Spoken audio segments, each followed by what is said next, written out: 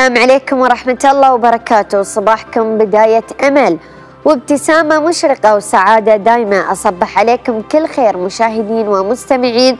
الصباح رباح بحلقة جديدة تجمعنا معاكم على مدار ساعة. نواكب العديد من الأنشطة والفعاليات المميزة.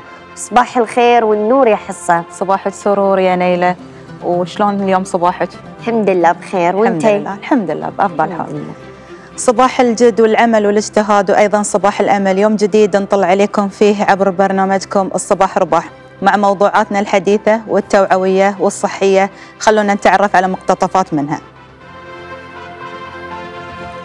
بتنظيم وزارة المواصلات والاتصالات تتواصل فعاليات مؤتمر ومعرض قطر لتكنولوجيا المعلومات كيتكوم 2019 مؤسسة حمد الطبية تدشن مؤتمر رعاية الحالات الحرجة.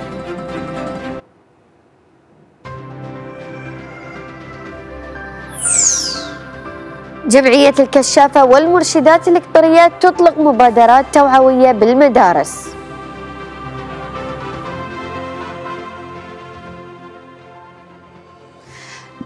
ننتقل الحين معاكم إلى قسم التنبؤات والتحاليل بمطار حمد الدولي لنتعرف على علوم الجو ودرجات الحرارة المتوقعة لليوم. يطلعنا عليها عبد الله الحداد كبير المتنبئين الجويين في إدارة الأرصاد الجوية. صبحك الله بالخير أخوي عبد الله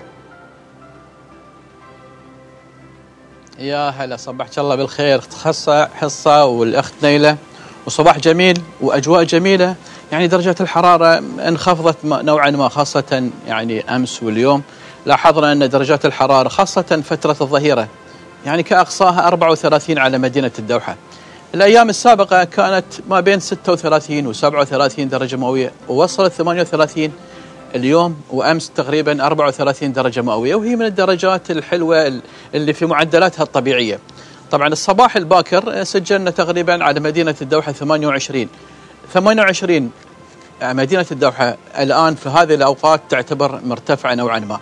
يعني الرياح الشرقية اللي تهب من البحر باتجاه الساحل تعمل على حبس درجات الحرارة واستقرارها على درجات نوعا ما مرتفعة، يعني نلاحظها 28 و29 و30 درجة مئوية، هذه من الدرجات المرتفعة خاصة هاي الفترة. ولو ابتعدنا نوعا ما عن الساحل ورحنا وسط الدولة تقريبا على المنتصف المناطق الشحانيه شمالا، مناطق الكرعانة جنوبا، آه، على الخور شمالا، المناطق هذه اللي نوعا ما بعيدة شوي عن البحر نلاحظ درجات الحرارة نوعا ما من- منخفضة خاصة الصباح الباكر. الصباح الباكر تسجل تقريبا 22 درجة مئوية. ونلاحظ أن 22 على المناطق الشمالية أو المناطق الجنوبية في حين على مدينة الدوحة 28 طبعا هذه درجات الحرارة مع الرياح الشمالية الغربية المتوقعة يوم قد يعني يوم قد خلاص تنتهي تقريبا تدريجيا الرياح الشرقية وتدخل معنا الرياح الشمالية الغربية. الرياح الشمالية الغربية راح تعمل على يعني نقول تنظيف الهواء من من الرطوبة النسبية المرتفعة. وانخفاض تدريجي في درجات الحرارة. اللي راح نلاحظ بمشيئة الله تعالى من ليل يوم قد والأيام اللي بعدها يعني يوم الجمعة والسبت راح نلاحظ تحسن كبير في درجات الحرارة وإن الجو صار أكيد أفضل. آه، نشف عن من الرطوبة النسبية.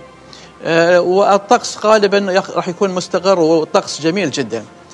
هذه بالنسبة لدرجات الحرارة، بالنسبة لحالة الطقس اليوم متوقع أنها تظهر بعض السحب على المناطق الشمالية الغربية، سحب محلية ولكن فاعليتها تكون ضعيفة. فرص الأمطار فيها يعني ضعيفة، ممكن تكون 50 60% كفرصة لسقوط أمطار محلية اليوم. يوم القد مع دخول الرياح الشمال الغربية وخروج الرياح ال- الشمالية الشرقية احتمال تحدث حالة من عدم الاستقرار خاصة على شمال الدولة والمناطق الشمالية الشرقية وممكن أجزاء منها تصل إلى الدوحة.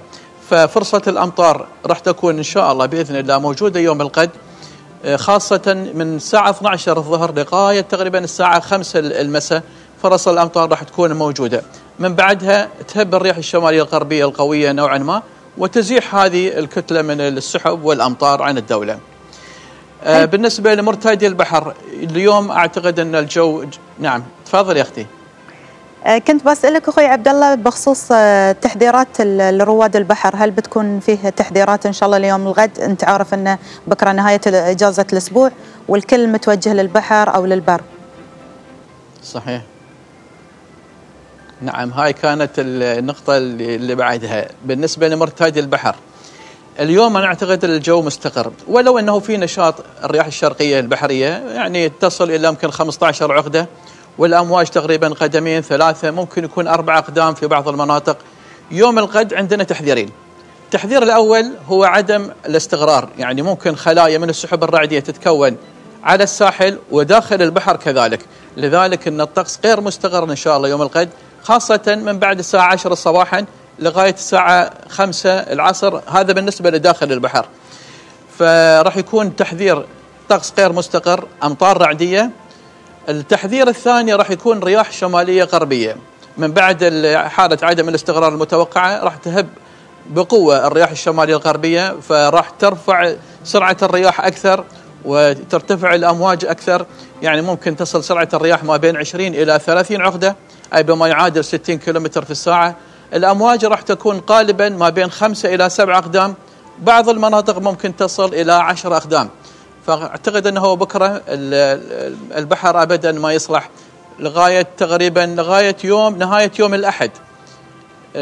من يوم الخميس الظهر. لغاية ظهر يوم الأحد البحر ابدا مو مناسب. من بعد يوم الأحد في يعني في الليل ويوم الأثنين والثلاثاء أنا أعتقد يرجع الطقس استقرار.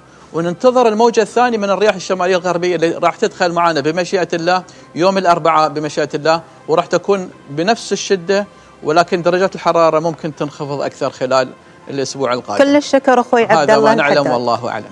كل الشكر موصول لك أخوي عبد الله الحداد المتنبأ الجوي من الأرصاد الجوية. حصة آه، من بعد ما تعرفنا مع عبد الله الحداد كبير المتنبئين الجويين عن حالة الطقس اليوم وأيضا آه، نفس ما سالتينا يعني خصوصا بكرة الخميس. وأكيد الناس قاعدين يخططون عشان يروحون البحر. هناك بعض من آه، البشارة الحلوة إنه يمكن من 12 الظهر آه، يبدأ سقوط الأمطار. يعني هاي بشارة خير إن شاء الله. الله يبارك لهم إن شاء الله الحياة والمطر لهم. آمين إن شاء الله. مشاهدينا الحين قبل ما تعرفنا وياكم على علوم الجو خلونا ناخذكم في جولة بين صفحات جرايدنا وأبرز ما ورد فيها مع زميلتنا فوزية عمر.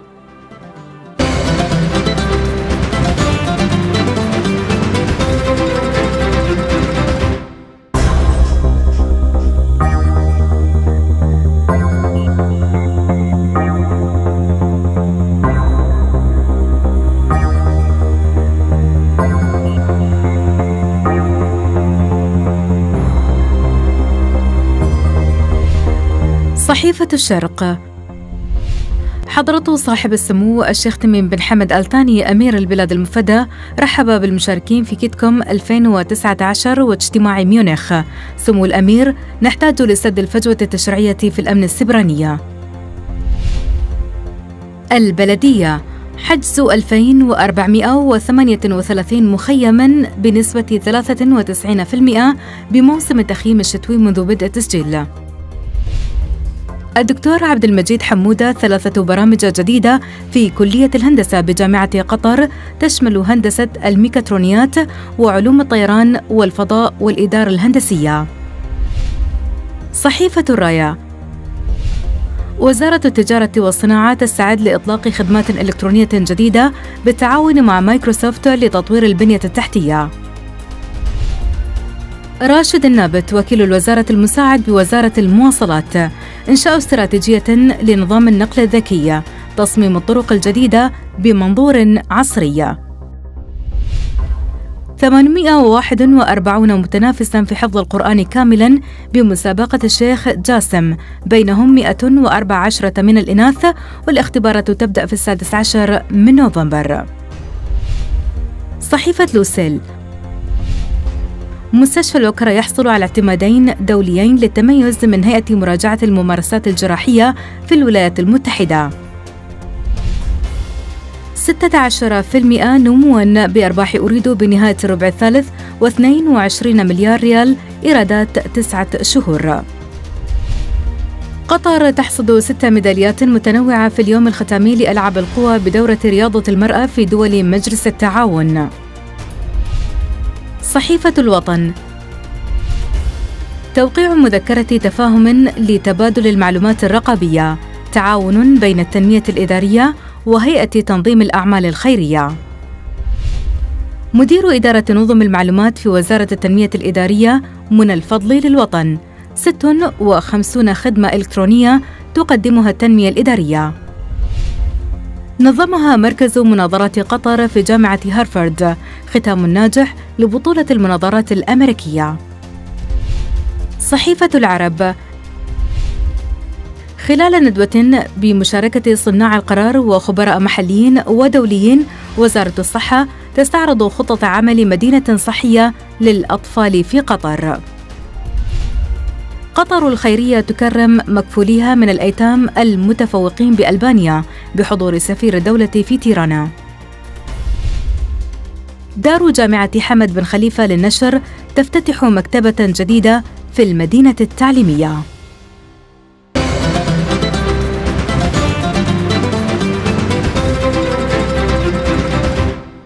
وفي الشأن الصحي وفي إطار الارتقاء بالمنظومة الصحية لتطوير القطاع الصحي وخدمات الرعاية الصحية تنظم مؤسسة حمد الطبية مؤتمر رعاية الحالات الحرجة تفاصيل أكثر في سياق التقرير التالي.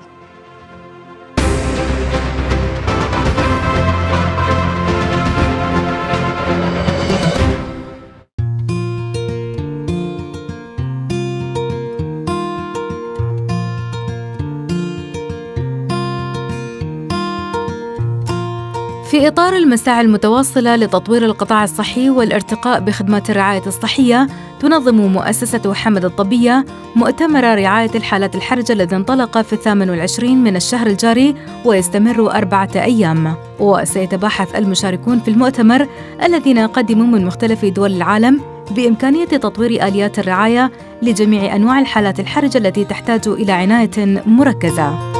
هذا المؤتمر على درجة كبيرة من الأهمية بالنسبة لنا في دولة قطر وبالذات لمؤسسة حمد الطبية حيث أنه من المعروف أن مؤسسة حمد الطبية تقدم آه، رعاية آه، طبية في العناية المركزة على درجة عالية جدا من الكفاءة. وعندنا يعني شبكة من آه، وحدات العناية المركزة في مؤسسة حمد الطبية منها الباطنية والرعاية المركزة الجراحية. آه، والرعاية المركزة للحوادث وغيره. هذا المؤتمر يجمع جميع المتخصصين في العناية المكثفة للحالات الحرجة. والحالات الحرجة هذه آه، تكون في جميع التخصصات من جراحة من طب عام أطفال. بس أعتقد إحنا المركزين على البالغين في السن في اليومين القادمين إن شاء الله. أولا يخدم عدة أشياء. الخبراء القطريين أو الخبراء اللي يشتغلون في مؤسسة حمد يلقون لهم آه، حقل يعرضون خدماتهم يعرضون معلوماتهم يعرضون خبرتهم وهذا شيء جدا جدا مهم. وفي نفس الوقت في احتكاك قوي بيننا إحنا بين الخبراء اللي في مؤسسة حمد مع الخبراء اللي يجون من برا. فنتعلم منهم أشياء. وفي نفس الوقت على فكرة هذا شيء الناس ينسونه دائما دائما دائما هو أنهم يتعلمون منه أشياء كثيرة.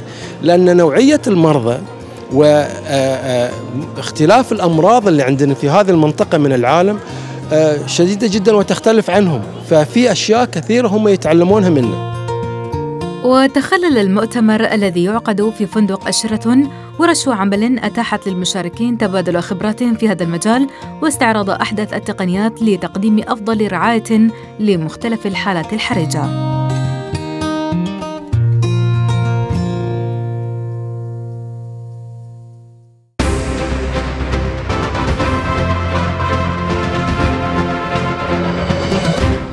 مشاهدينا بعد ما شفنا هذا التقرير خلونا نروح لفاصل قصير ومن بعد نكمل باقي فقرات الصباح رباح خلكم ويانا.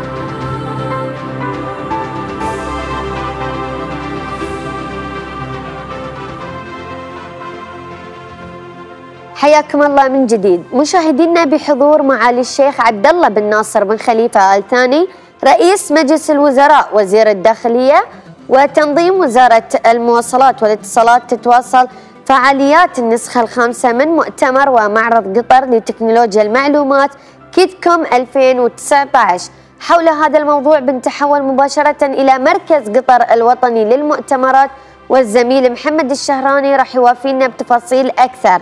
صباح الخير أخوي محمد. يا مرحبا الله مسهلا فيكم صبحكم الله بالنور والسرور. أيضا الساده المشاهدين صبحكم الله بالخير. مثل ما ذكرت أنا في معرض ومؤتمر كيتكم في النسخة الحالية. طبعا أمس تم افتتاحها من قبل حضرة صاحب السمو أمير بلاد المفدى حفظه الله ورعاه. عدد من الشخصيات اللي حضروا لهذا المؤتمر. وأيضا تتواصل فعاليات اليوم. حاليا إحنا في إكسبو. Smart City اللي هو اكسبو المدن الذكية اللي يقام بالتزامن مع معرض ومؤتمر QITCOM. راح نتعرف أكثر عن المؤتمر وندخل إن شاء الله في موضوع مشروع تسمو المدن الذكية مع أختي إيمان الكواري محلل البرامج والمجتمعات الرقمية وأحد أعضاء فريق تسمو. أختي إيمان الله يصبحك بالخير والله يعطيكم العافية. قبل لا نتكلم عن تسمو عن مشاركتكم نبي نتكلم عن الأكسبو اللي صار اليوم. والاحداث اللي تصير في المؤتمر. اليوم تم افتتاح المؤتمر بحضور معالي رئيس الوزراء الشيخ عبد الله بن ناصر ورئيس دولة رواندا فخامة الرئيس كيغامي وهذا المؤتمر يتواجد فيه كثير من الخبراء في الأمن السبرياني والمدن الذكية. راح يتم فيه أيضا التحدث عن مجالات كثيرة تخص التكنولوجيا الحديثة والناشئة إن شاء الله. بإذن الله الله يوفقكم إن شاء الله ويسهل أموركم. مشروع تسمو اللي تم إطلاقه من فترة ولا زلتوا تعملون عليه. شو اللي صار؟ شلون مشاركتكم السنة هذه؟ نعم. آه طبعا آه كتكم كونه أكبر المنصات آه للتكنولوجيا في دولة قطر. فطبعا مشاركتنا هني السنة بتكون فيه تتضمن كثير من الإعلانات. أهمها أصلا اليوم مثل اليوم توقيع عقد المنصة الذكية المركزية لمشروع تسمو مع شركة اريدو وهذا يعتبر من أكبر المشاريع القائمة في الدولة اللي راح يساعد على تمكين الدولة بكون تحولها الرقمي لدولة ذكية إن شاء الله. الله. يسهل لكم إن شاء الله. بشكل خاص لو بتكلم عن تسمو للي بعضهم مثلا ممكن اليوم إنه يسمع عن تسمو نبي نعرف تسمو عن وش بالضبط. آه برنامج آه تسمو قطر الذكية هو يخص التحول الرقمي آه لخمس قطاعات رئيسية في الدولة المواصلات الخدمات اللوجستية البيئة والصحة والرياضة. والبرنامج تم تطويره لتسخير التكنولوجيا والابتكار لتحسين جودة الحياة للمواطنين والزوار اللي عايشين بقطر إن شاء الله. جدا وين وصلتوا في المشروع؟ تقريبا هل في مشاريع أو مراحل طبقت ولا الحين في مراحل ثانية؟ طبعا تم تحديد خارطة الطريق لمدة سبع سنوات مشروع تسمو. وإن شاء الله خلال السبع سنوات القادمة راح يتم تنفيذ أكثر من 100 مشروع. وإن شاء الله السنة هذه راح يتم بداية, بداية المشوار بتنفيذ تقريبا ال 20 مشروع في الخمس قطاعات المختلفة. ويتم الإعلان عنهم إن شاء الله في كتكم. بإذن الله يوفقكم إن شاء الله. شنو لقيتوا الإقبال على الشركات المحلية تجاه تسمو كمشاركة أو كاطلاع بشكل عام؟ الحمد لله في إقبال كثير من الشركات المحلية والعالمية لمشاريع تسمو لانها تختص في في المجال الابتكار والتكنولوجيا الحديثة والمتطورة ففيه اهتمام كبير من السوق المحلي والعالمي الحمد لله. الحين ندخل بشكل عام على المؤتمر شلون لقيتوا المؤتمر في ثاني ايامه؟ شلون لقيتوا التفاعل؟ شلون لقيتوا الحضور؟ ما شاء الله يعني تقريبا أكثر من 400 شركة متواجدة في هذا المعرض. نعم آه عدد الحضور والمشاركات جدا قوي آه مقارنة بالنسخ السابقة السابقة آه وفي تفاعل كثير من الجمهور وخصوصا في وعي زايد بخصوص التكنولوجيا وفائدتها للمجتمع. ففي تجاوب كبير من الزوار. اللي حاب يزور المعرض حاليا أنتم لمتى متواجدين؟ الأوقات اللي موجودة تسمح حتى لزيارة مشروع تسمع آه متواجدين إحنا يوميا من الساعة 10 صباحا إلى العاشرة مساء. آه إلا يوم الجمعة اللي هو آخر يوم للمعرض كتكوم بيكون من الواحدة الظهر آه مساء ظهرا لين السادسة مساء. الله يوفقكم إن شاء الله ويسهل أموركم. شكرا تسلم. إن شاء الله. طبعا آه، إيمان الكواري محل برامج المجتمعات الرقمية في واحد أعضاء فريق تسمو. آه، كان حديث عن مشروع تسمو هذا المشروع آه، للتحول آه، الذكي والتكنولوجي في دولة قطر. للأمانة مشروع جدا جبار يقف آه، خلفه آه، قيادات شابة تقود هذا المشروع. أنصحكم بالاطلاع وزيارة المؤتمر والمعرض وأيضا زيارة بالأخص مشروع تسمو للاطلاع على كل القطاعات. أيضا فرصة للشركات المحلية القطرية اللي يقودونها شباب مبتكرين للدخول في هذه المشاريع. الباب مفتوح للجميع ولكن هذه فرصة لكم للاطلاع عليه. هذا كل اللي عندي والكلمة لكم في الاستديو كل الشكر لك أخوي محمد ولضيفتك على هذه المعلومات ونتمنى لهم إن شاء الله كل التوفيق. وفي موضوع آخر يا نيلة أطلقت الجمعية القطرية للكشافة والمرشدات, والمرشدات مجموعة من المبادرات التوعوية في عدد من مدارس الدولة ممثلة في مشروع كهرماء ومشروع بأخلاقي أرتقي. للمزيد حول أنشطة الجمعية في المدارس يسرنا نستضيف اليوم معنا في استديو الصباح رباح الأستاذة أميرة الخياط استشارية أنشطة كشفية وإرشادية في جمعية الكشافة والمرشدات القطرية صبحت الله بالخير أستاذة الله أميرة. بالنور هلا ومرحبا. صبحك الله. بالخير. صباح الله بالنور. كلمنا عن موضوع المبادرة مع كهرماء. آه، مبادرة كهرمائيات طبعا من الصيف باجتماع اللقاء التعريفي للقائدات. اتفقنا فيما بيننا على مشروع أن نسوي من بداية السنة ياخذ لمدة ثلاثة شهور. تم الاتفاق على ترشيد اللي هو آه، ترشيد الكهرباء والماء بالتعاون مع مؤسسة آه، كهرماء. وصار التدشين في مدرسة أبي حنيفة يوم الأحد اللي طاف. آه، كان التدشين عبارة عن مسرحية قدمها الأستاذ شعير الكواري. آه، فيها يعني نماذج شلون آه، ترشيد آه، الكهرماء آه، الماء والكهرماء سوى يعني فقرات عن الماء وعن الكهرماء وتفاعلوا مع الطلاب في هالشيء. وراح يمر هالمشروع إن شاء الله على 11 مدرسة. راح يفعلونه عن طريق برامج وأنشطة بالتعاون مع مؤسسة كهرماء والقائدة الأشبال اللي موجودة في آه، المدرسة وإن شاء الله يعني في نهاية المشروع المخرجات راح تكون في شهر يناير راح يعطونا إياها وراح نختار المشروع الناجح اللي طبقه يعني بتميز وإبداع وياخذ درع التفوق الكشفي إن شاء الله. إن شاء الله بإذن الله أستاذة أميرة أنتم بعد آه، أطلقتوا مبادرة بديتوا فيها أمس في مدرسة جوعان نعم. وبتستمرون فيها بعد في مدرسة أبي أيوب اللي هي بأخلاقي أرتقي. أخلاق. شو الهدف؟ آه، أو بنتكلم بعد يعني مش بس الهدف في هذه المبادرة آه، بعد ما آه، كنتم متواجدين في مدرسة جوعان آه، كلمينا عنها وكلمينا بعد عن نقول مشاركة الطلاب دمجهم معاكم كجمعية الكشافة.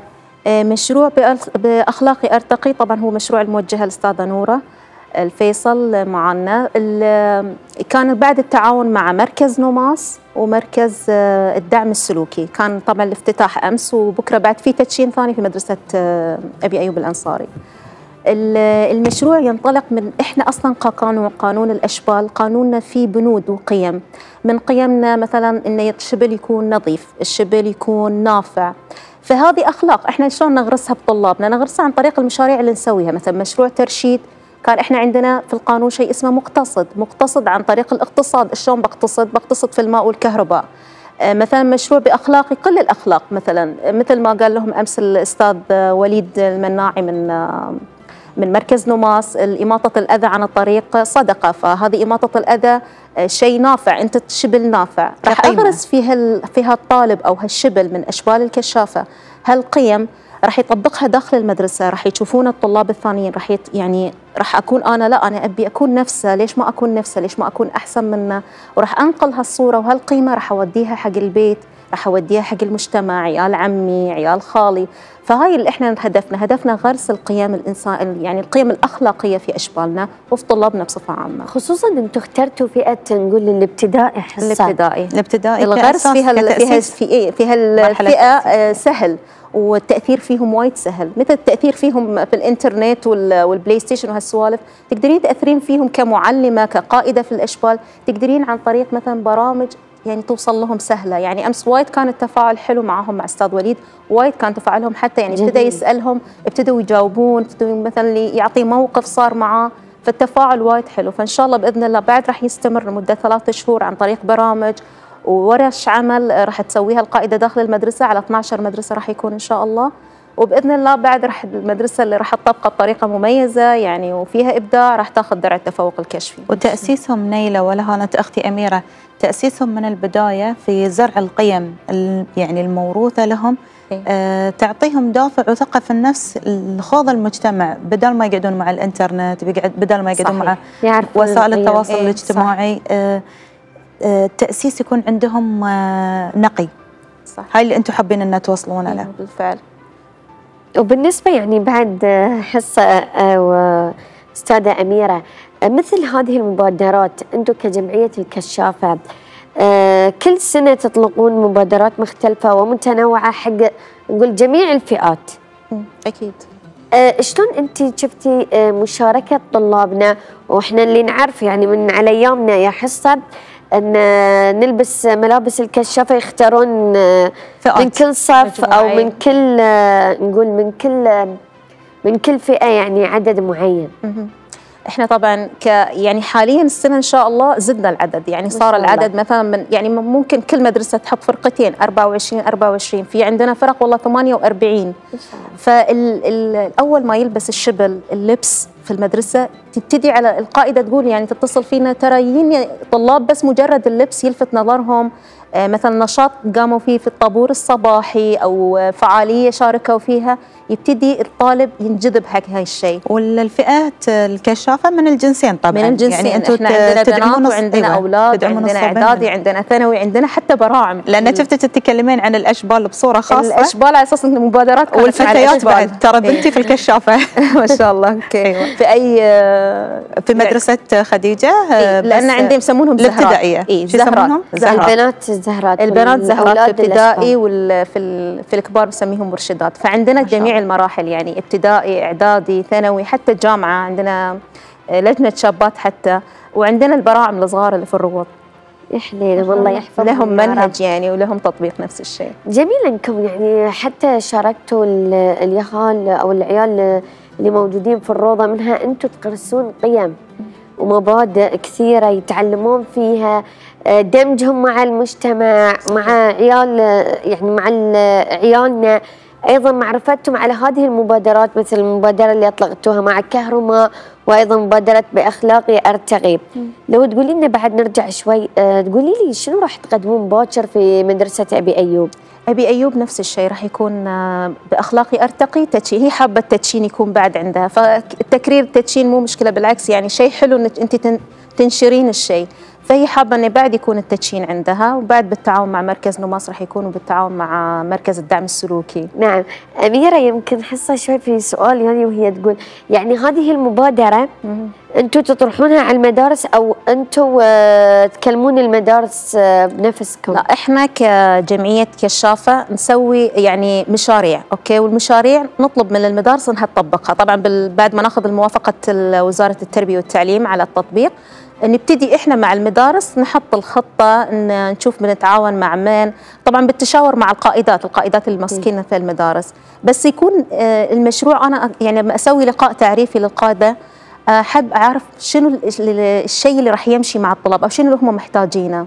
فكل مبادرة إحنا حاطينها يعني في مبادرات جاية كل مبادرة إحنا حاطينها احتياجاتنا شنو لها؟ يعني هل إحنا فعلا محتاجينها؟ هل طلابنا حابينها عشان يتفاعلون معاها أنت ذكرتي أختي أميرة بخصوص المبادرات القادمة إن شاء الله تيم مثل مثل شنو بتكون المبادرات آه إن يعني شاء الله؟ عندنا مثلا مشروع راح يكون للحين المشروع راح يطبق على بداية شهر 11 إعادة التدوير.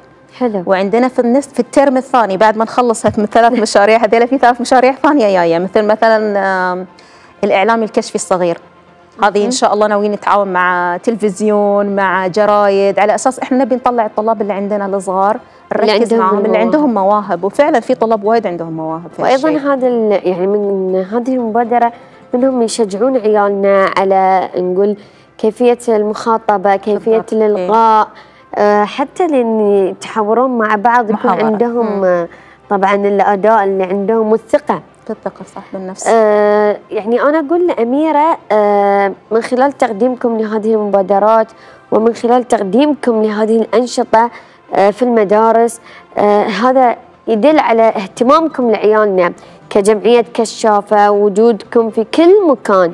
لكن بعد لو بنقول غير انكم تقدمون الفعاليات والمبادرات في المدارس هل آه، لكم في جمعية الكشافة مبادرات خاصة غير نقول آه، اللي تقدمونها بالمدارس؟ يعني إحنا داخل الجمعية بعد في فعاليات يعني مثلا أمس كان في الملتقى التربوي الأول. نعم. آه للقادة مسوينه للقادة. إن شاء الله بعد بصدد إن إحنا نسوي مثل معسكر اسمه معسكر التميز والإبداع الكشفي للأشبال للطلاب الصغار فيعني عندنا كذا مبادرة زائد التجمعات اللي يسوونها الخوات في الموجهات في للمرشدات للزهرات.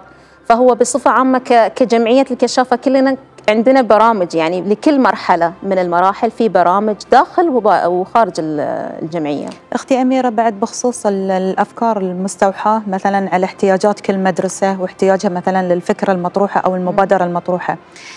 أه كاقتراح بسيط ما أدري إذا هو كان موجود عندكم أو لا. أه ما دمجتوا الأسر باقتراحات بسيطة على أساس أن الأسرة هي يعني آه، أسرة الفرد اللي مشارك معاكم. كطرح فكرة، كطرح احتياج للطلبة اللي موجودين في الكشافة. هو يعني حاليا لا بس إحنا نتمنى إن أولياء الأمور إحنا أصلا يعني نبي نوصل لأولياء الأمور ودنا الاولياء الأمور هم اللي يشاركونا هم اللي يعطونا آرائهم. فمثلا ال- المعسكر اللي راح نسويه اللي هو راح يكون معسكر الإبداع الكشفي طالبين أولياء الأمور هم اللي يبون طلابهم لأنه بيكون فترة مسائية. نبيهم هم يدشون يشوفون يتعرفون يعرفون إحنا إيش نعطي. يعني إحنا إيش قاعد نسوي داخل الجمعية؟ وبالفعل في أولياء أمور وايد يشاركون معنا مثلا إذا في احتفالاتنا باليوم الوطني يكون مثلا فترة يعني في الليل شي نطرش لهم دعوات. حتى في مشروع ترشيد كان في يعني في دعوة لأولياء الأمور وفي أولياء أمور حضروا بالفعل في المشروعين. على أساس يتعرفون إحنا إيش قاعد نعطي أو شنو برنامج لأن في ناس تسالني شنو يعني كشافة. فحابين يعرفون مثلا أنا ولدي بدخله إيش بيتعلم إيش بي- إيش بيستفيد. فحلو إن هم يشاركون معنا وبعد حلو حتى لو هم يعطون مثلا في مجالهم عندهم مجال إنه يعطون مثلا محاضرات في هالشيء بالعكس إحنا جميل بيهم. أيضا بعد طرح المبادرات من الأهالي لجمعية الكشافه منها ناس مذكره آه، مذكره حصة إن إحنا نعلم عيالنا يعني نعلمهم على التزام. والالتزام خصوصا كمرشدة يعني أنا أذكر على ايامي يوم كنا نلبس زي المرشدات نحس كنا عساكر موجودين في. المدرسة. قاعدين ننظم ونساعد المدرسات. لكن شلون بعد لو بنتكلم بعد أميرة آه، بعض من آه، نقول القوانين هناك في قوانين حق المرشدات. صحيح. لو تقولين لنا بعض منها. القانون هو يعني مثلا عندك القانون لازم تكون مثلا المرشدة نافعة. شلون تكون نافعة؟ مو شرط تكونين نافعة أنك أنت مثلا تنفعين نفسك بس لا لازم تنفعين غيرك يعني المساعدة قدمي مساعدة مثلا حق زميلتك طلبت منك مساعدة هاي أنت مرشدة نافعة. آه المرشدة لازم تكون صادقة. فتبتدين تعلمينها. طبعا أنا ما راح أقول صادقة وأسكت لا أنا راح أحطك في مواقف أبيك تبينين فعلا أنت صادقة فيها. آه راح تقولي لي مواقف صارت معك أنا أبي أغرس القيم. القيم اللي هي يعني نوعا ما الحين صارت مش موجودة. آه، بسبة الانشغال آه، الأسر انشغال الأهل فإحنا نحاول نساعد في هالجزء هي مش مش إنها مش موجودة إيه. هي ضامرة هي في هي- فترة إيه. الركود إحنا نقدر نسميه في فترة إيه، الركود بس مو كل القيم طبعا في قيم معينة يعني بس جميل. جميل. مثلا حتى بالنسبة للمرشدات تكلمتي عنهم المرشدات إحنا يمكن طلعناهم مخيمات مثل مخيم عمان أنا طلعت معاهم آه، ما شاء الله يعني مرشداتنا وايد مبدعات بالفعل يعني. مبدعات آه، حابين ال- العمل الكشفي وتميزوا في كانوا في مخيم عمان تميزوا بأنشطتهم تميزوا ب يعني بالورش اللي قاموا فيها فوايد كانت تجربة حلوة بالنسبة لهم. حلو. حصة. أي والله. يعني إحنا نقول آه، جمعية الكشافة دائما آه، لها دور كبير في تعزيز القيم عند عيالنا. كلمة أخيرة توجهينها أختي أميرة. آم، طبعا أشكركم اولا على الاستضافة وأنكم حبيتوا تطلعوا مجهود آه، وأنشطة البرامج برامج جمعيه الكشافة وأتمنى من الكل يشارك معنا ويزيد عدد العضوية عندنا ونرحب بالكل وبالأسر بالأولياء الأمور حتى يجون ويطلعون ويشوفون شنو البرامج اللي عندنا. شاكرين لك أختي أميرة ال- الاستشاريه أنشطة الكشفية في المرشدات آه، في الإرشاد جمعية الكشافة والمرشدات القطرية شكرا. فاصل قصير وراجعين لكم خلكم ويانا